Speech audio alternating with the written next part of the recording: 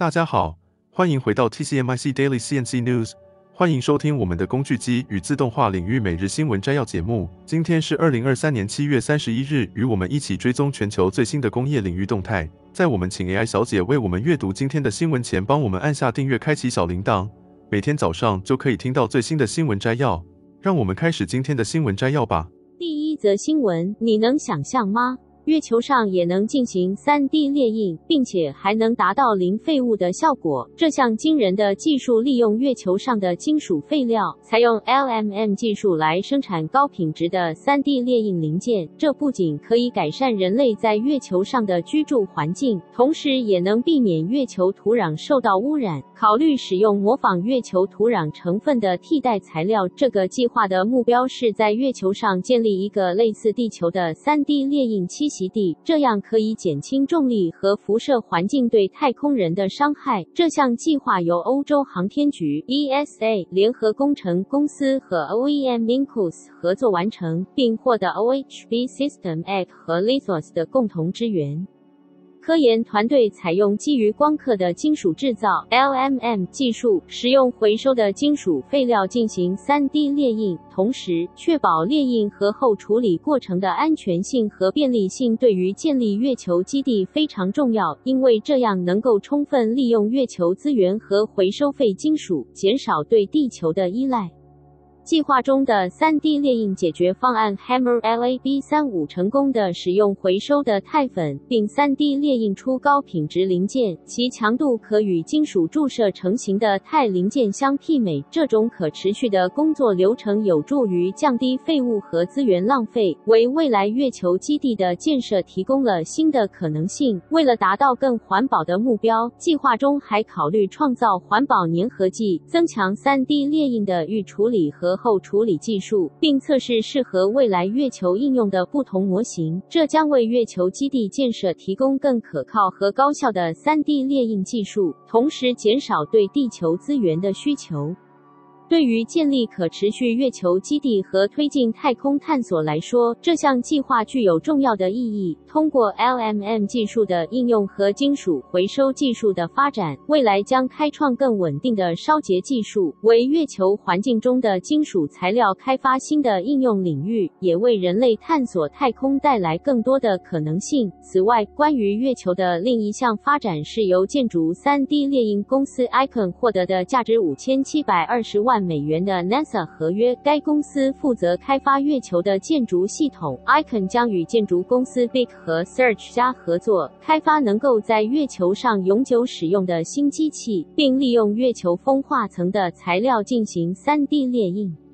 在之前，由学生团队开发的月球雨流减缓装置 Lunar Pad 已经取得了成功。这项装置能够解决登月过程中的问题，改善月球尘埃的流向，减少沙尘暴的强度，进一步解决人类在月球上的适应力问题。第二则新闻，据了解，雅德克 KY 在第二季度的合并营收达到了新高，预计第二季度的毛利率和盈利率将较第一季度有所提升。整体来看，雅德克 KY 在上半年的营收和获利都呈现出较去年同期成长的趋势。值得一提的是，雅德克 KY 的上半年营运表现优于产业平均水平。不过，受中国整体制造业复苏不如预期。的影响，近期有外资将雅德克 KY 的平等调降至中立。另外，日本工具机工业会 JMTBA 公布的数据显示，六月份的新接单数量年减百分之二十一，连续六个月处于衰退状态。尽管工具机仅是雅德克 KY 终端众多产业应用之一，市场仍预期这一情况对雅德克 KY 可能产生一定程度的影响。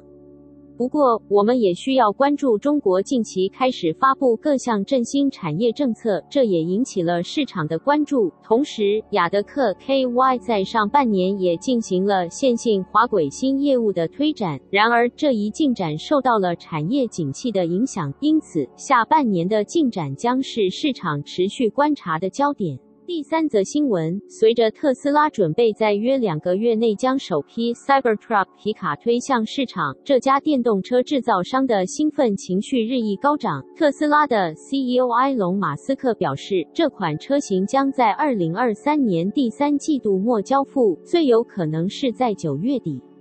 作为电动车行业的领头羊，特斯拉在上半年截至六月三十日已交付约八十九点九万辆车，创下了交付量的新纪录。然而，特斯拉也遇到了几个挫折。今年三月，美国国家公路交通安全管理局对十万辆二零二三年款特斯拉 Model Y SUV 展开调查，原因是存在方向盘在行驶时脱落的问题。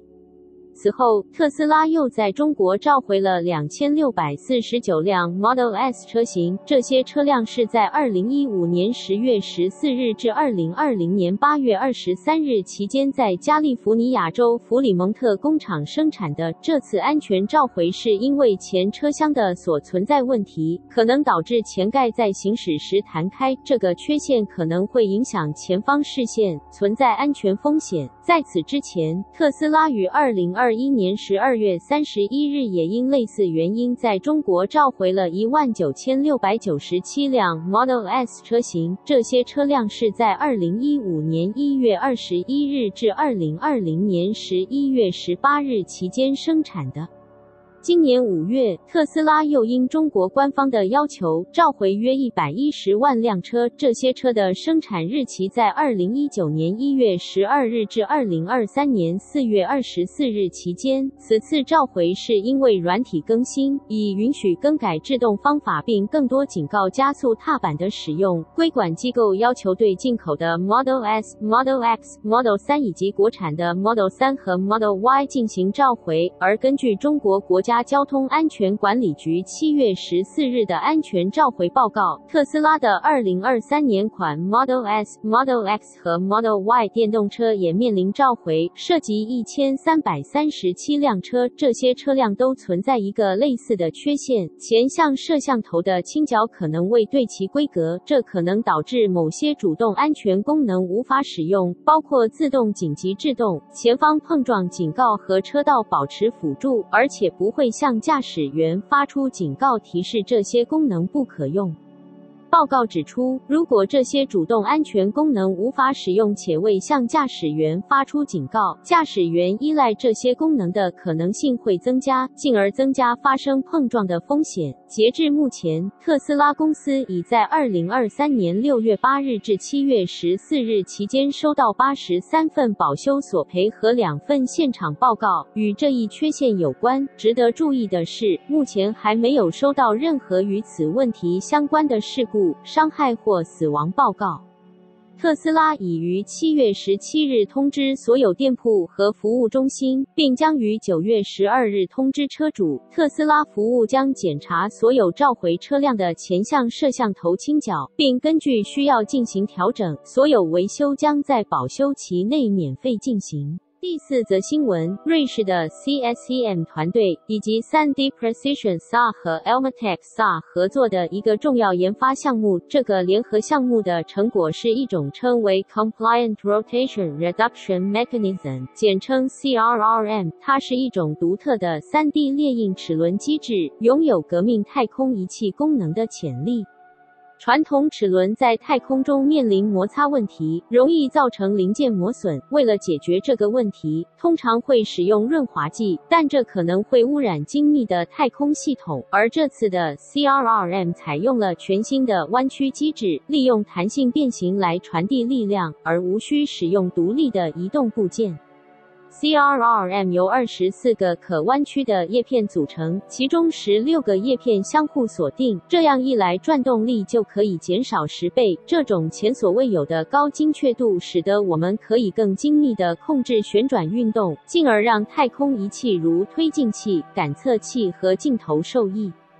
CRRM 由 3D Precision SA 使用高性能不锈钢一次性制造成单一结构，具有强大的耐用性，非常适合承受严苛的太空环境。而在 ESA 技术发展项目中，Elmatec SA 负责进行了性能测试，确认了 CRRM 显著提升太空系统运作和寿命的潜力。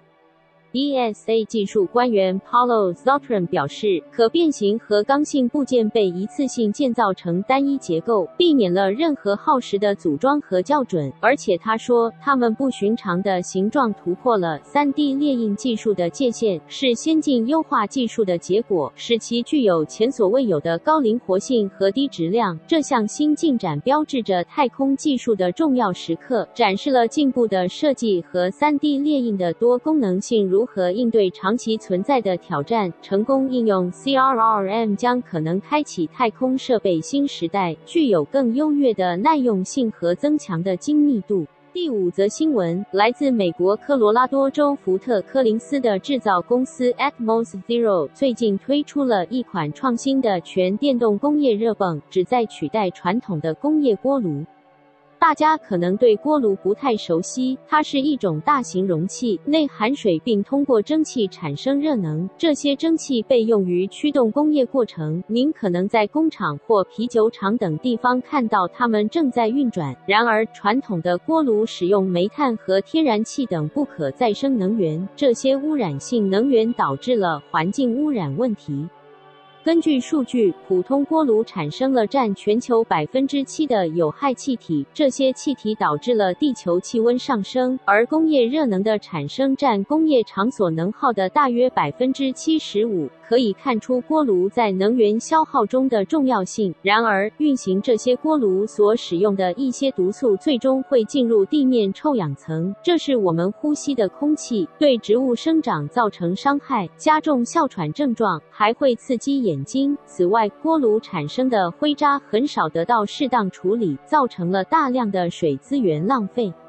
Atmos Zero 成立于二零二一年，专注于工业蒸汽的脱碳，也就是创新技术来实现无污染蒸汽的制造。制造商需要一种能为许多应用提供热能的方法，而 Atmos Zero 正提供了一种更清洁的方式，使用热泵依靠电力而非锅炉所使用的煤炭或天然气。Atmos Zero 的首席执行官 Edison Stark 告诉 Business Wire：“ 我们的愿景是通过量产高效的。”插电式蒸汽发生器来消除排放，以相当于今天化石燃料锅炉的成本提供零排放的蒸汽。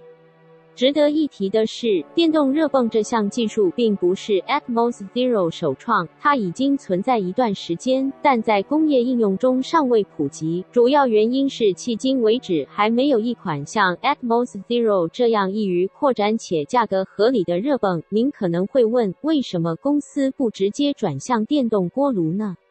实际上，他们已经试过这种方法。然而，这会导致巨额的电费支出。电动锅炉工作原理是通过加热线圈和金属最终煮沸水来产生蒸汽，但它们的能源效率非常低。而 Atmos Zero 的热泵则是通过将现有热能从一个地方转移到另一个地方，因此需要更少的能源。Atmos Zero 计划将于二零二四年底与能源公司 Danfoss 在福特科林斯的 New Belgium Brewing 总部合作，展开热泵的试。点项目公司的发展计划非常迅速。Stark 表示，根据 Canary Media 的报道，我们计划尽可能积极的扩展规模。这项新闻标志着科技在太空领域的一大突破，也再次证明了持续进步的设计和创新技术的重要性。成功应用 Atmos Zero 的热泵将可能带来新的工业时代，具有更优越的环保性和能源效率。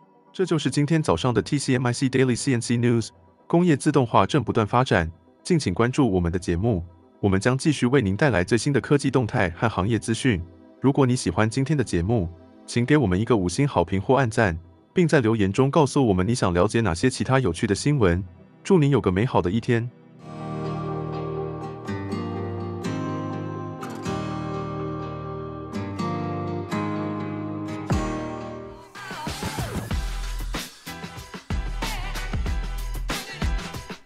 大家好，欢迎回到 TCMIC Daily CNC News，欢迎收听我们的工具机与自动化领域每日新闻摘要节目。今天是二零二三年八月一日，与我们一起追踪全球最新的工业领域动态。在我们请 AI 小姐为我们阅读今天的新闻前，帮我们按下订阅，开启小铃铛，每天早上就可以听到最新的新闻摘要。让我们开始今天的新闻摘要吧。第一则新闻，根据一项调查显示，随着出口订单的萎缩，中国的工厂活动在七月份出现了收缩现象，这给执政的共产党带来了更大的挑战，需要扭转经济增速放缓的现状。中国国家统计局和行业团体发布的采购经理人指数 （PMI） 显示，该指数从六月份的四十九上升至四十九点三，但仍低于五十分的收缩水平。汇丰。银行的 Aaron Shin 在一份报告中指出，中国的制造业 PMI 仍处于收缩状态，尽管速度较前一月有所缓解，但外部因素的拖累加重，这加大了北京政府支持经济增长所面临的压力，可能需要通过财政和货币措施来提振经济。中国领导人目前试图通过承诺支持创造就业和财富的企业家来振兴经济活动，但他们尚未提供可能的减税或支出细节，并且避免宣布大规模刺激措施。受到美国和欧洲的利率上调以应对创纪录的通货膨胀的影响，中国出口的需求出现了减弱。在国内，消费者对可能的失业问题感到不安，并推迟了大型购买。房地产销售作为经济引擎，也受到政府对该行业债务使用的监管政策影响，出现了疲软的情况。根据统计局和中国物流与采购联合会的数据，出口订单指数从六月份的四十六点四下降至四十六点三，远低于五十分的收缩水平。截至六月份的三个月内，经济增长率从一月至三月期间的百分之二点二下滑至百分之零。点八，这相当于年增长率百分之三点二，将是中国几十年来最疲弱的增长率。第二则新闻，在即将到来的九月份，德国将举办工具机盛会 EMO 展，嘉诚精密也将参与此次 EMO 展。嘉诚精密在滚轮、凸轮轴承和追随器轴承行业有着二十多年的经验，专注于生产极小磨合间隙、高精确公差、高精度和优质产品，包括凸轮和槽口等多样化的产品。客户群涵盖主要工具机配件制造商和国家技术研。研究机构遍及台湾北部、中部和南部地区。嘉诚精密专注于滚轮凸轮轴承的定制生产，他们推出的超级精细滚轮凸轮轴承，经过高精度加工，直接满足使用要求，无需经过磨合测试。此外，嘉诚精密工业在机床行业中率先推出了第四轴五轴转盘，这一创新让轴承与凸轮之间的磨合关系完全消除，并提供了直接的数据，确保轴向跳动在精确范围内，大幅提升。了车床的加工效率和精确度。如果您对嘉诚精密的产品感兴趣，请务必来拜访他们在 EMO 展的摊位七号馆 A 二六，亲自参观他们的展品，让您近距离了解嘉诚精密的专业技术和优秀产品。第三则新闻：台湾工具机暨零组件工业同业工会，他们提出了一些建议，希望政府能够稳定电价、碳费接轨国际，协助产业实现绿色转型。在稳定电价方面，工具机工会建议允许企业调降用电契约容量，这样可预估可节省固定费用十多万元，帮助企业在目前经济低迷时期降低成本负担。同时，当景气恢复时，政府可补助。线路恢复费用预估约一百多万元，鼓励企业积极投资并恢复正常生产运作。另外，工具机工会也提到加码投资台湾，会员厂商近四十家申请了投资台湾三大方案，但受到 COVID-19 疫情及全球景气不佳影响，建筑物料成本增加、工期延长等因素，企业负担加重。他们希望政府能够给予协助，将土地建融、机器设备贷款和周转金贷款期限各延长三年，以减轻企业负担，帮助企业渡过难关。此外，推动节能减碳也是工具机工会的重要提案。二零二四年，台湾将开始征收碳费，但在国外则是征收碳关税。即使台湾工具机产业短期内不被征收碳费，但当产品出口到国外时，可能会被国外征收一定的碳关税。因此，工会希望台湾碳费制度能够与国际接轨。工具机工会表示，他们将持续以标准化程序协助产业快速水平。展开碳盘查辅导，推动定定工具机产品类别规则 （Product Category Rules，PCR），透过标准化与程序化制定程序，完成产品类别规则文件，协助产业定出碳足迹系数，加速厂商完成碳盘查。第四则新闻：随着人工智慧的不断进步，未来机器人和自动化的应用将变得比以往更加普及。无论是家用的机器人吸尘器、陪伴宠物的机器人伙伴，还是能够帮助割草的机器人，它们都将逐渐成为我们日常生活中的一部分。然而，尽管这些机器人看起来很聪明，它们仍然存在着一些限制。例如，我们家中的机器人只能执行它们事先编。编程好的简单任务，比如机器人吸尘器可以在家中自动导航并吸尘。当感应器检测到墙壁时，它会试图绕过去。然而，传统的机器人控制系统并未被设计用于应对新情况和意外变化，通常无法同时执行多项任务。幸好，谷歌 DeepMind 近日推出了一项创新技术 RT2，这是首个适用于机器人控制的视觉语言行动 VLA 模型，将机器人技术推向了一个全新的高度。该系统是通过训练来自互联网的文本数据和图像实现的，类似于 ChatGPT 和必应等大型语言模型的训练方式。RT2 模型为机器人带来了更高的智能水平，这意味着机器人可以处理更加复杂的任务和情况，并且能够在面对新的环境和变化时做出适应性的反应。这项技术的应用将为机器人的功能和应用范围带来显著的扩展。有了这样的创新技术，我们可以预见未来机器人将能够更加灵活地适应我们的需求，成为更加智慧和多功能的伙伴。谷歌 DeepMind 的 RT2 系统为工业与自动化领域带来了更多可能性，让我们拭目以待，看见未来机器人的惊人发展。第五则新闻：近日，机器人大厂 Fanuc 发布了他们二零二三年四月至六月的财报。由于全球景气放缓的担忧，再加上库存调整对生产的影响时间延长，导致机器人等事业的订单大幅萎缩。因此，Fanuc 不得不下砍今年度的财测预估，并且修正后的财测远逊于市场预期。Fanuc 原先预估今年度二零二三年四月至二零二四年三月的合并营收目标为八千一百九十五亿日元，现在下修至七千五百零三亿日元，将年减百分之十一点九。合并盈利目标则从一千五百六十三亿日元下修至一千一百八十三亿日元，将年减百分之三十八点二；而合并纯益目标则从一千三百七十一亿日元下修至一千一百三十一亿日元，将年减百分之三十三点七。值得一提的是，Fanuc 进行修正的财测预估是以一美元兑一百三十日元、一欧元兑一百四十五日元为前提的试算值，而这些值均比原先预估的汇率要高。分析师的平均预估显示，Fanuc 今年度的盈利将达到一千八百一十九亿日元。然而，Fanuc 公布的修正值远低于市场的预期。在上季财报中，Fanuc 提到，虽然电动车需求带动了机器人的销售增长，但自动化部门的销售却大幅减少，导致合并营收相较去年同期下滑了百分之四点六。而就部门别来看，上季 FA 部门的营收更是较去年同期大减了百分之二十四点三，而机器人机械部门也下滑了百分之三十六点六。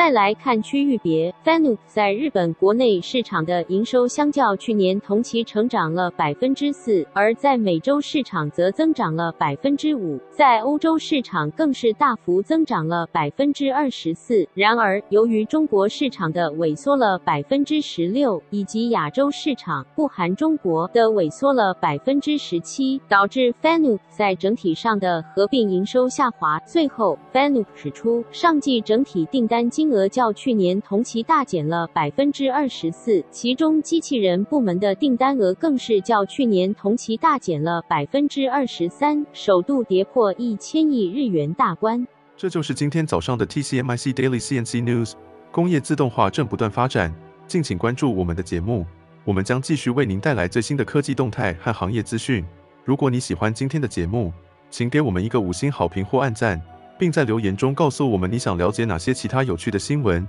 祝您有个美好的一天！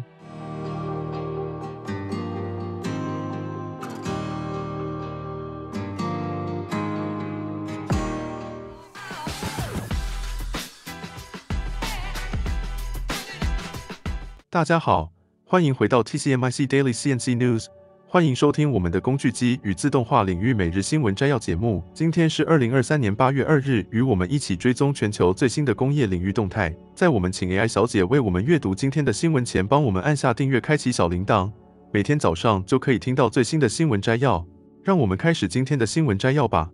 则新闻：美国制造品订单在六月再度大幅增长。根据美国政府周四公布的数据，大型制造品订单在六月份惊人地飙升，增幅接近百分之五，远超过分析师预期。这再次得益于蓬勃的交通设备订单，这是连续第四个月订单增长，显示耐用品需求依然强劲。即便美国联邦储备委员会通过积极的利率上调来抑制通货膨胀，在周三，三美联储第十一次上调利率，并保留了未来进一步提高的选择，以应对若通货膨胀难以达到百分之二长期目标的情况。根据美国商务部的声明，六月份制造持久材订单较上个月增长了百分之四点七，达到三千零二十五亿美元。这一增长超过 MarketWatch 经济学家调查中预期的百分之一点五中位数。这个惊人增长主要归因于交通设备新订单的飙升，这个部门的订单增长了百分之十二点一。花旗集团首席美国经济学家安德鲁·霍伦霍斯特在公布耐用材数据后给客户的报告中指出，制造业的衰退一直是美国经济的一个持续特征。然而，他也表示，现在有越来越多迹象表明制造业的衰退正在缓解，并且企业设备投资也正在增加。从修订的数据中显示，五月份耐用材订单增长了百分之二，主要受益于交通设备订单的。提高，但若排除交通，新订单仅增长了百分之零点六，而不包括国防订单的新订单则增长了百分之六点二。第二则新闻：金属机电无薪假续增，工具机成重灾区，受到订单不稳和库存等影响。根据劳动部的统计数据，截至本周，有六百五十四家事业单位，共一万三百三十人通报实施无薪假、减班休息。尽管整体数字较上周减少，但金属机电工业的无薪假人数却上升至五千两百二十二人，工具机产业成为无薪假的重灾区。劳动部官员坦言，金属机电工业确实是一个较辛苦的产业。根据劳动部的公布，本周实施减班休息的人数达到一万三百三十人，其中制造业占了约八成，共八千一百三十人；而金属机电工业的人数五千两百二十二人最多。大部分事业单位实施无薪假的人数在五十人以下，实施期间多数为三个月含以下，而休息时间则。以每月多休四天，五至八天为主。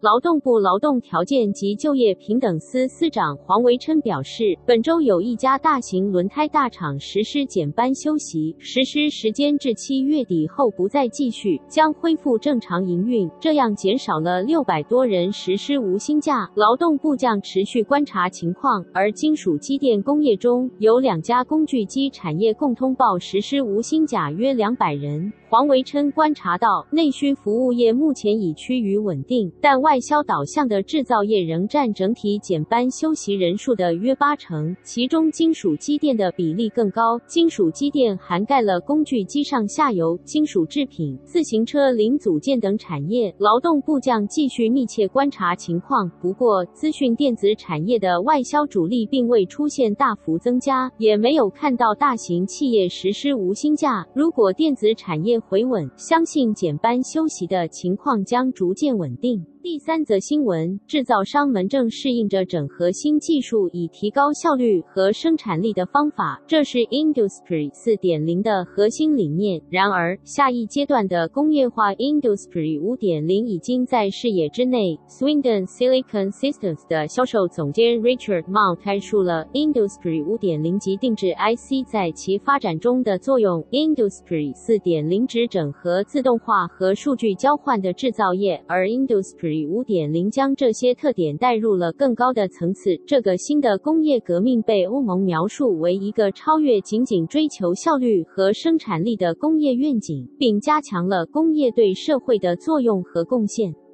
首先，Industry 五点零强调超个性化，大规模个性化将成为可能。先进的技术，如 3D 打印和电脑辅助设计，将成为其发展的核心。制造公司可以利用大数据分析、人工智能和机器学习来处理大量数据，创建个性化的产品配置、包装、品牌和定价。数据也对实现个性化至关重要。通过数字系统和数据库，制造商可以。获取个别客户的规格，指导制造过程，确保定制产品按照期望的配置进行生产，实时监控从传感器和物联网设备集成数据，帮助制造商追踪个性化产品的生产进度，解决可能出现的偏差或问题。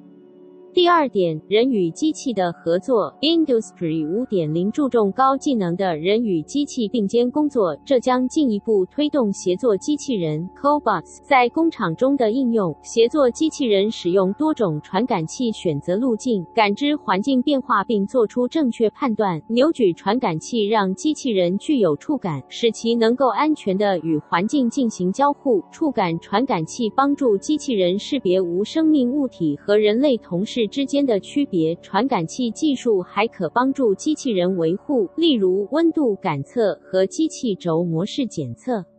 第三个要知道的是，自定义 IC ASIC 的角色在 Industry 5.0中，智能传感器是核心，而 ASIC 实现更智能、更小、更精细的终端结果。ASIC 通常设计成直接与传感器元件接口，实现高效、准确的信号获取。它们可以优化传感器系统设计，包括特定的条件处理、放大过滤和模拟输出数据。第四则新闻：机器人和人工智能的快速进步正在为战争带来崭新的时代，不再是传统有人驾驶的船只。美国海军第五十九任务部队正积极将 AI 和机器人技术融入海军作战。他们打造了一支由自主机器人船只组成的舰队，旨在彻底改变海上战争的模式。这些自主机器人艇的测试场在波斯湾，它们种类繁多，包括太阳能动力。的皮划艇和冲浪风格的艇，这些艇配备了尖端技术，作为海军的眼睛和耳朵，透过摄像头、雷达和水声传感器收集宝贵的数据。通过模式匹配算法，他们可以区分游轮和潜在威胁，例如走私船。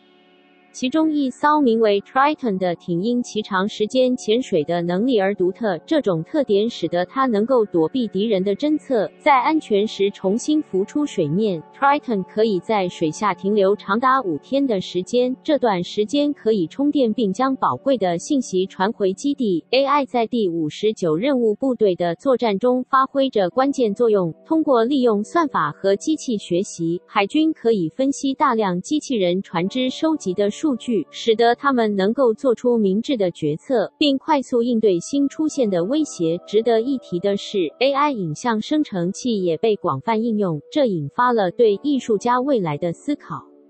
当然，AI 的应用也面临着一些挑战。在不可预测的海上航行和探测非传统威胁方面，AI 技术需要不断改进和发展。然而，海军对于 AI 技术的重视表现在他们致力于走在技术的前沿，并将其无缝地融入海军作战中。这次自主机器人艇的部署只是 AI 动力战争未来的一个开始。海军对于机器人技术和 AI 的重视，反映了军事。领域自主系统的广泛趋势，无需人为干预的运作，使得作战效率提高，减少了对人员的风险，并可能促成更具战略性的决策。但乌克兰战争也警示我们，无人机和自主系统在现代冲突中的角色愈发重要。乌克兰制造的带有爆炸装置的无人艇曾袭击一个被俄罗斯占领的海军基地，引发对无人武器普遍使用的担忧。在这方面，海湾地区运作的第五舰队对于这些发展知之甚少，这凸显了跨区域情报分享的必要性。随着 AI 技术的不断进步，对于其在战争中。使用的伦理考虑变得越来越重要。自主系统做出生死决策的能力，引发了问责制和潜在意外后果的问题。在充分考虑 AI 能力的同时，确保人类监督和控制的合理平衡是避免灾难性后果的关键。第五则新闻：最近，南韩三名科学家在论文预印本网站 Archive 发表了一篇引人瞩目的论文，声称成功找出室温常压的超导体 LK99。这个发现，在科学界引起了巨大震撼。若为真，将可能改变整个人类世界的发展。目前，国际上多个研究团队正在试图合成 LK99，并验证其实验结果。而美国劳伦斯伯克莱国家实验室 （LBNL） 也在最近上传了一篇论文，认为室温常压超导体 LK99 在理论上是可行的。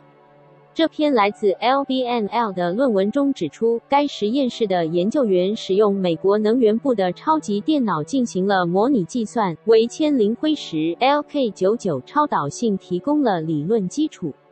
透过电脑模拟，他们计算了南韩原始作者提出的材料的情况，即铜原子渗透到晶体结构中并取代铅原子，从而导致晶体略微变形并收缩百分之零点五。进一步，他们验证了这种材料存在着电子传导路径，而且这些路径位于适当的条件和位置，使得它们能够实现超导。这篇论文首次证实 LK99 理论上是可行的。不过，这篇论文也指出，要在铜原子渗透到晶格中形成超导通道并非易事，因为需要巧妙又奇迹般的刚好排列在一起。这意味着该材料的合成很难重现，因为只有很小一部分晶体能够将铜原子放置在正确的位置。然而，这篇论文仍然为南韩研究成果提供了理论上的支持。室温常压超导体若能成功实现，将在实际应用上带来革命性的变化。它将大大降低能源和制造成本，并可能延长各种电子产品中的电池寿命，解决能源问题，甚至促进和融合技术的研发。另外，据称，华中科技大学材料学院的一个团队也取得了重要进展。在该团队的指导下，博士后五号和博士生杨丽成功合成了可以磁悬浮的 LK99 晶体，悬浮的角度比其他研究团队取得的样品更大，有望实现真正意义上的无接触超导磁悬浮。这项实验首次验证了麦斯纳效应，它是超导体从一般状态相变至超导态的过程中对磁场的排斥现象。这一发现为超导体提供了一个独特的定义性值。这就是今天早上的 TCMIC Daily CNC News。工业自动化正不断发展，敬请关注我们的节目，我们将继续为您带来最新的科技动态和行业资讯。如果你喜欢今天的节目，请给我们一个五星好评或按赞。并在留言中告诉我们你想了解哪些其他有趣的新闻。祝您有个美好的一天！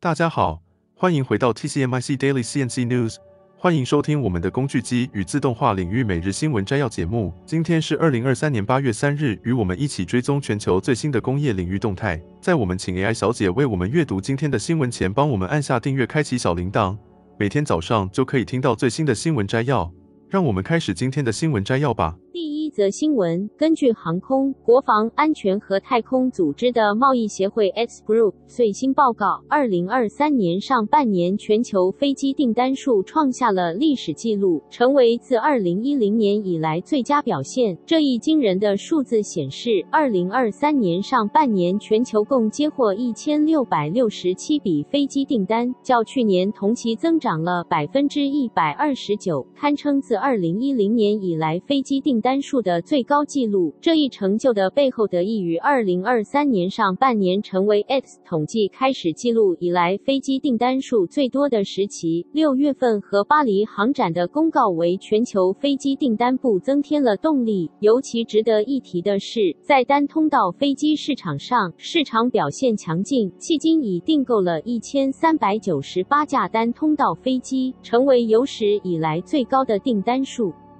二零二三年上半年，飞机订单备忘录增长了百分之十一，达到一万四千四百六十二架飞机。相比之下，去年同期仅增长了百分之一。按照目前的生产速度，这些飞机订单备忘录相当于十多年的工作量，价值达到两千一百八十亿英镑，为英国带来巨大的经济效益。此外，在今年上半年，飞机制造商共交付了五百八十二架。飞机较去年同期增加了超过百分之十三。特别值得关注的是，二零二三年上半年交付了八十五架宽体飞机，同比增长了百分之二十三。X Group 首席经济学家 Amy Stone 表示，X 不断强调行业信心的回升。考虑到目前的生产和交付日期，X 已将我们今年年底的飞机交付预测上调至一千两百一十五架飞机，这将代表。表三年多来交付的飞机数量最多，这是飞机制造业正在恢复到疫情前的趋势的强有力信号。尽管供应链问题仍在持续。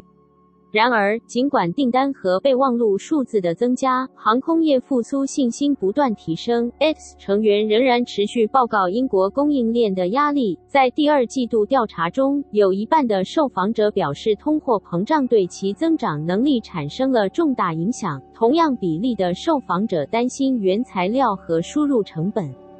X 首席执行官 Kevin Craven 表示，在二零二三年上半年取得的热烈订单数是行业信心回升的非常欢迎的迹象。此外，交付数字的增长支持了 X 对二零二四年制造业恢复至疫情前水平预期。为了充分实现二零二三年上半年飞机备忘录和记录订单数带来的制造潜力，我们需要解决阻碍发展的问题，包括供应链问题和影响。想增长的劳动力短缺，在接下来的几个月里，X 将继续与行业和政治利益相关方合作，确保专注解决影响航空业的当前问题。第二则新闻：近日，台湾工具机产业面临着碳焦虑的问题。对此，一些企业正在积极寻求解决方案。台中金机总经理是协理黄怡颖在碳权交易来了论坛高雄场中表示，台中金机自二零一三年起便开始了智慧化绿能工厂的推动，并进行内部流程的数位转型。他们在企业内部建立了员工共识，并设立了三 G 目标及 Green Factor。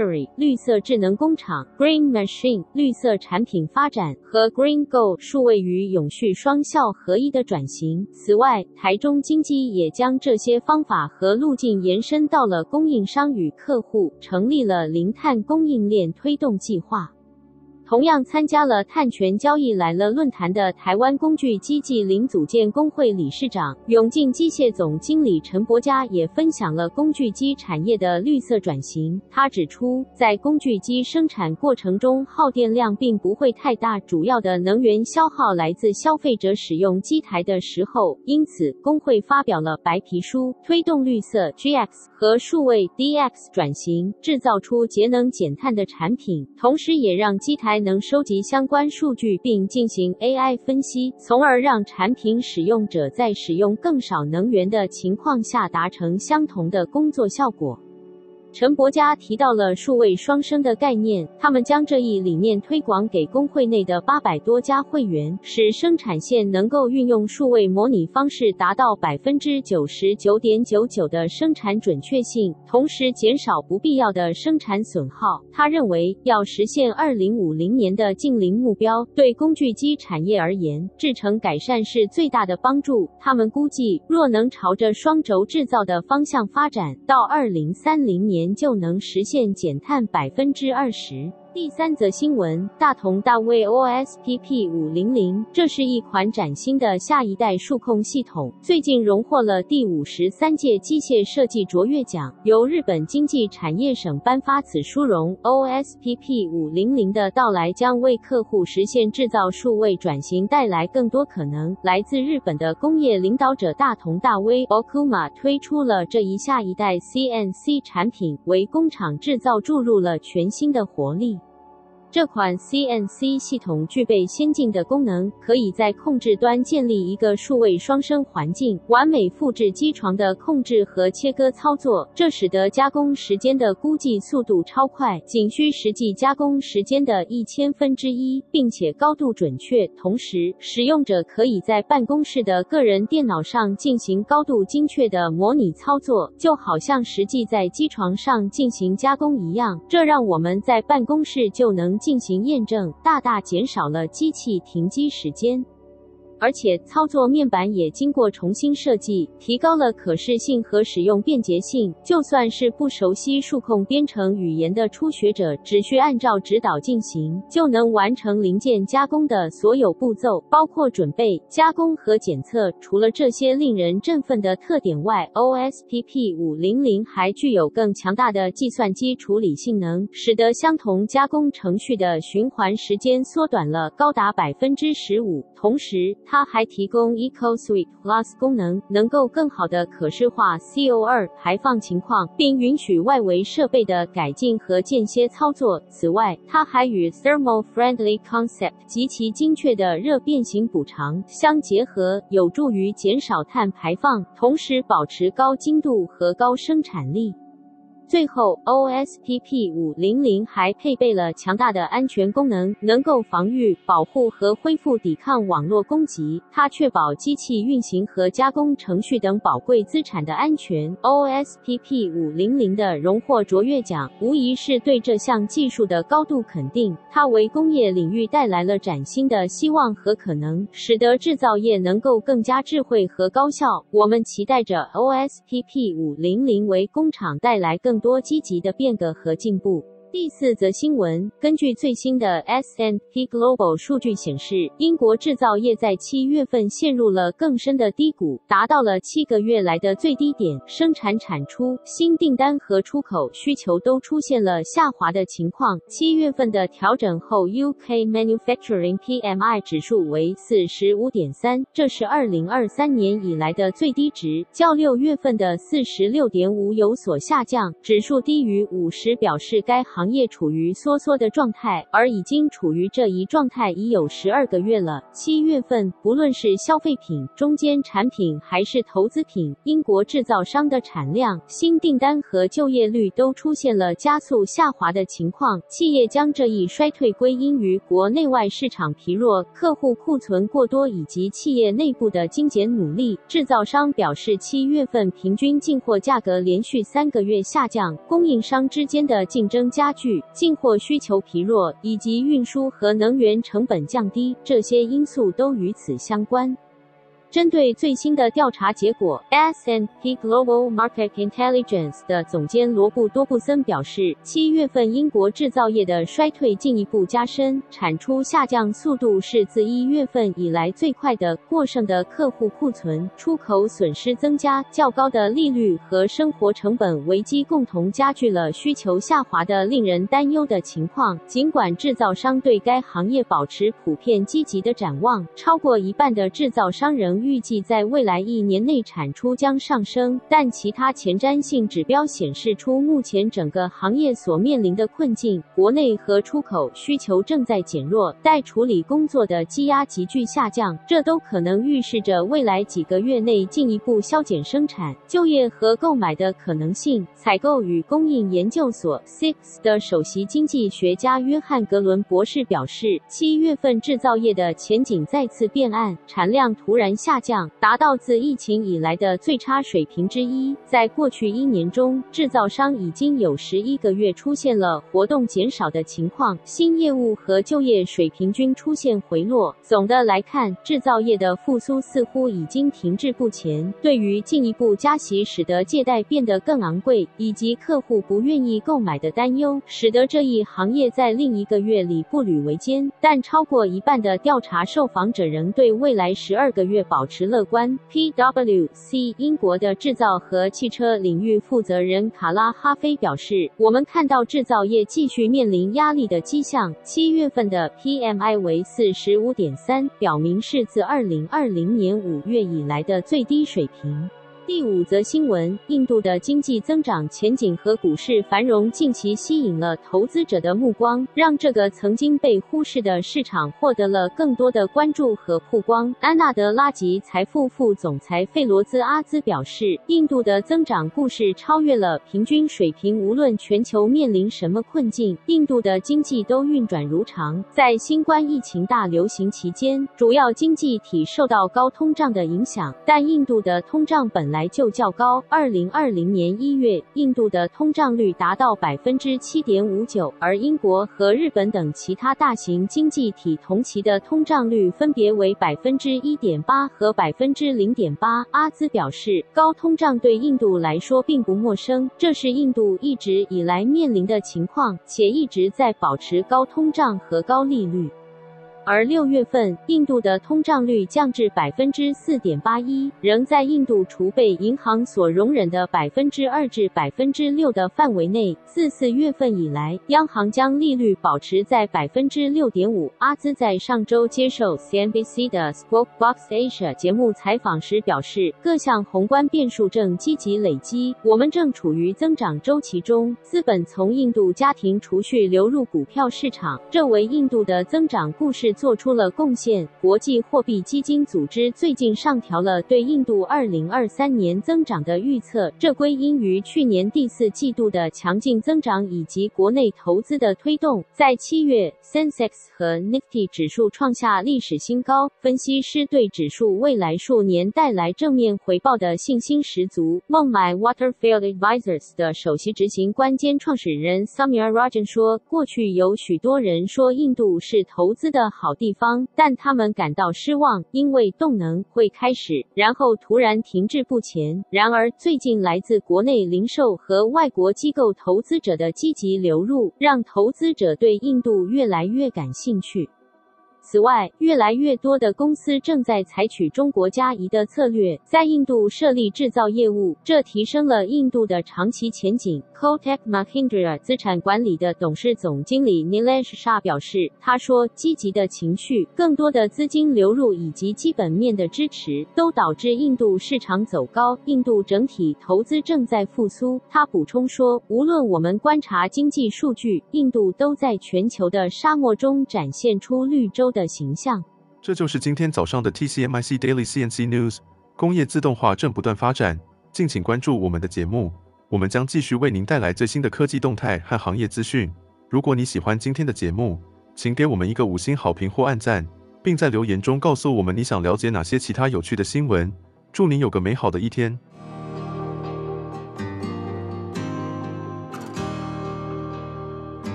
大家好，欢迎回到 TCMIC Daily CNC News，欢迎收听我们的工具机与自动化领域每日新闻摘要节目。今天是二零二三年八月四日，与我们一起追踪全球最新的工业领域动态。在我们请 AI 小姐为我们阅读今天的新闻前，帮我们按下订阅，开启小铃铛，每天早上就可以听到最新的新闻摘要。让我们开始今天的新闻摘要吧。第一。一则新闻，在人工智能领域，大型语言模型引起了一场建立越来越大神经网络的竞赛。然而，并非每个应用都能支持这些深度学习模型的计算和记忆要求。液态神经网络是麻省理工学院计算机科学和人工智能实验室 （C-SAIL） 研究人员开发的一种新型深度学习架构。它为某些 AI 问题提供了紧凑、适应性和高效的解决方案。这些网络旨在解决传统深度学习模型的一些固有挑战。液态神经网络的灵感来自于对机器学习现有方法的思考，以及考虑它们如何适用于机器人和边缘设备所提供的安全关键系统。在这些应用中，无法运行大型语言模型，因为计算和存储空间不足。因此，为麻省理工学院的研究人员希望创建一种既准确又计算高效的的神经网络，已在机器人的计算机上运行，无需连接到云端。他们受到了小生物体中生物神经元的研究启发，例如线虫 C. elegans，它只有三百零二个神经元，却能执行复杂的任务。于是，异态神经网络应运而生。异态神经网络与传统深度学习模型有显著不同，它们使用了一种计算负担较小并稳定神经元的数学公式来进行训练。异态神经网络的高效性在于它们使用动态可调整的微分方程，使其在训练后能适应新情况，这是在典型神经网络中找不到的功能。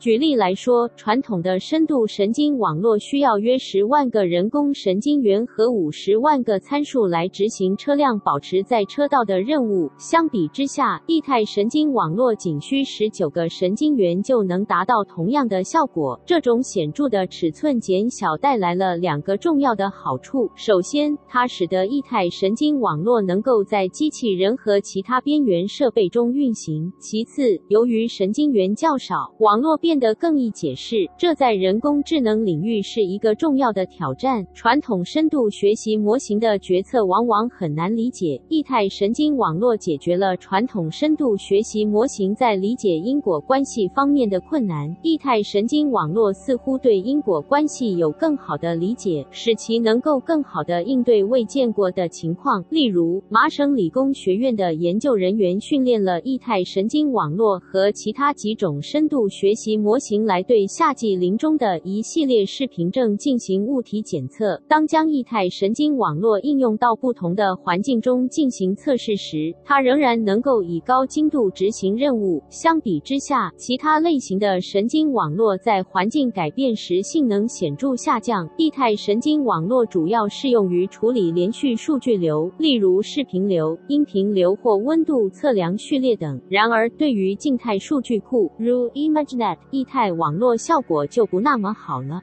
第二则新闻：自二零一三年德国开启了工业四点零竞赛以来，已经十年了。政府将数位化政策列为经济发展方针。在德国的自动化产业中，机械设备、工业测量与感应器技术以及电脑控制系统三项是市场规模最大的，占了七成，合计价值超过九百六十亿欧元。然而，德国自动化产业的现状距离发展远景还有很大的成长空间。投资不足，对于资讯安全和数据保护的高要求，以及专业人才的缺乏，都是挚爱自动化产业与市场发展的原因。但也有一些的商事由于本业出发，加码投资研发，取得了长足发展。其中一个成功的范例就是 So EuroDrive。So EuroDrive 是一家位于德国巴登符腾堡邦市近郊的家族企业。该公司从生产电机、变速箱、转换器和齿轮电机起家，目前生产各种尺寸、功率的电机驱动器和变频器，以及驱动扭矩超高的工业齿轮箱。二零二二年，So 的营业额达到四十二亿欧元，拥有十七个装配厂和八十九个驱动技术中心，遍布五大洲五十四个国家。该公司不仅在自动化技术的专利数量和注册商标上稳步增长，而且员工中近四分之一是电机与资讯工程师。SCW 的自动化驱动技术应用范围广泛，涵盖汽车加工、饮食与包装、住宿到污水处理、起重机技术以及机场行李与仓储物流等多个领域。该公司在发展智慧工厂的模组概念下，还能支持规模较小的分散作业流程，或是建构小型工厂的增值单元。除了自动化工厂，So 还将目光投向了智慧城市与智慧交通领域。该公司曾参与德国 Cardo Cap 产官学研究案，该项目探索在地下隧道系统自动运输符合欧洲站板规格的运输胶囊，作为传统货运系统的替代方案。此外，So 还获得了德国官方与欧盟的资助，将工业领域中的创新解决方案延续拓展到智慧交通与物流系统。他们正在进行名为 eFuel Campus Bruxelles 的城市实验室计划，该计划涵盖电动车自动感应充电系统和 5G 通讯网络应用，并且测试区域内包裹与可回收包装的自动收发。这项专案的成果预计将在今年九月中发表。第三则新闻，据印度卡纳塔克邦政府透露，富士康将投资超过六亿美元，其中包括一个手机制造项目和一个独立的半导体设备工厂。这将成为富士康在印度的重要投资计划。卡纳塔克邦商业部长 M.B. Patil 在本周三的推文中表示，富士康和美国芯片公司应用材料已承诺分别投资超过三点六亿美元用于手机外壳组件工厂。以及二点四亿美元用于半导体设备制造项目，这将为当地带来相当多的就业机会。手机项目预计可为一万两千人提供工作机会，而半导体工厂则将为一千人提供就业机会。富士康作为全球最大的代工电子制造商之一，大家对它最熟悉的身影就是苹果 iPhone 的主要组装厂。然而，近年来富士康积极寻求多元化发展，不仅在地理。位置上，也在产品组合上努力拓展业务范畴。目前，富士康主要的业务仍集中在中国，那里运营着全球最大的 iPhone 工厂。但印度一直在积极推动高科技制造业的发展，因此成为了富士康扩张计划的重要目标。除了在手机和晶片制造项目方面的投资，富士康还积极寻求成为电动车制造商，希望实现对消费电子以外的多样化发展。然而，它在半导体制造领域方面的努力至至今尚未取得太大的成功。过去，富士康曾与印度金属制石油多元企业 Vedanta 达成协议，计划成立一家半导体和显示生产工厂，项目规模达一百九十五亿美元的合资企业。然而，就在上个月，富士康却退出了这项合资企业。至于此次在卡纳塔克邦的投资，富士康在 CNBC 的询问下并未发表评论，而应用材料也尚未回应置评。第四则新闻，根据中国欧盟商会先前公布的调查显示，由于中国大陆新修订的反间谍法以及其他挑战，部分外资正考虑将投资及企业的亚洲营运总部撤离中国大陆，其中新加坡是他们转移的首选目的地，达到百分之四十三。其次是马来西亚，马来西亚投资发展局 （MI） 的执行长阿罕阿多拉曼表示，该局目前已将一些有可可能因为马来西亚的投资竞争优势而考虑转移至马来西亚发展。或扩大业务的外资企业列为主要接触对象，这些企业正在进行调查研究，包括成本效益分析。马来西亚具有六大优势，分别是政府轻商政策、策略位置、优良基础设施、熟练劳动力、员工语言能力和具有竞争力的经商成本。这些因素使得马来西亚成为外资撤离中国大陆后多元化业务的热门投资地点。许多外资企业已与马的接触，评估来马来西亚投资的可行性。透过与潜在及现有外资的接触，MIDA 已将一些有可能将业务转移或扩大至东南亚其他国家，包括马来西亚的企业列入候选名单。相较于其他国家，马来西亚的营商成本相对有竞争力，使其成为寻求业务多元化的企业热门选择。当企业考虑业务转移时，通常会评估各种因素，例如制造成成本、人才供应、市场机会、物流和良好的基础设施、政治稳定性和政府激励措施。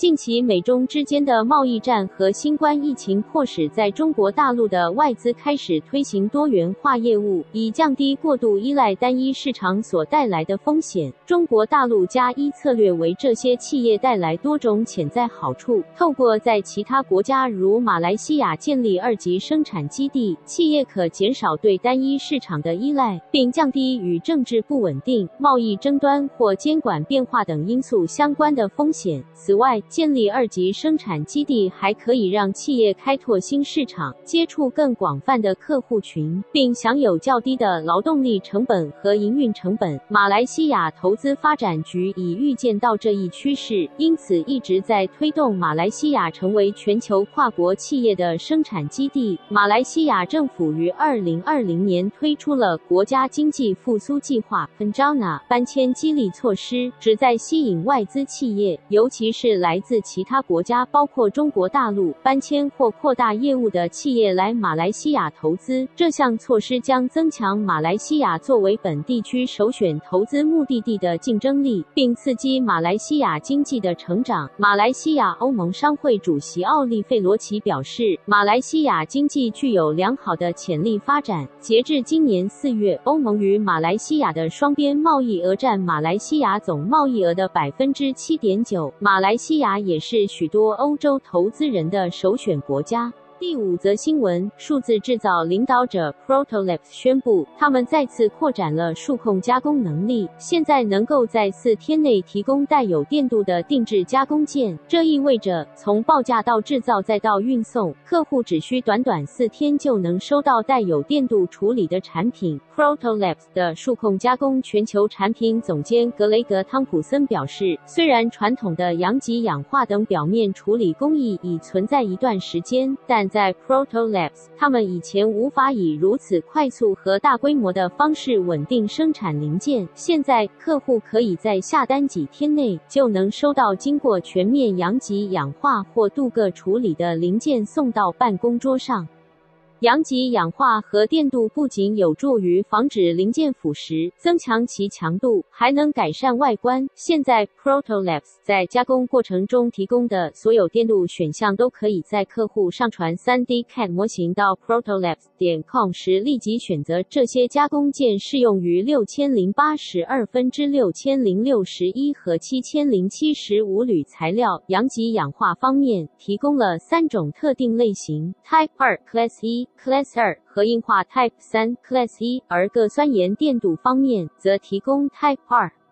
这次快速电镀的增加是 Protolab 目前数控加工选项的延伸，其中包括具有灵活交货时间的先进阳极氧化和铬酸盐电镀能力。对于符合 AS 九一零零和 ETAR 需求的客户，他们可以访问 Protolab 的精密加工能力；而对于需要更复杂、高需求零件的客户，他们可以利用该公司在 Hops 的数字制造厂商网络。Protolabs 的总裁兼首席执行官罗布·博多尔解释说，今年他们承诺向客户提供更多服务能力，而加工服务正引领着这一进程。通过独特的制造模型，将全球制造商网络与数字化工厂相结合，Protolabs 可以全面满足客户的原型和生产需求。这就是今天早上的 TCMIC Daily CNC News。工业自动化正不断发展，敬请关注我们的节目。我们将继续为您带来最新的科技动态和行业资讯。如果你喜欢今天的节目，请给我们一个五星好评或按赞，并在留言中告诉我们你想了解哪些其他有趣的新闻。祝您有个美好的一天！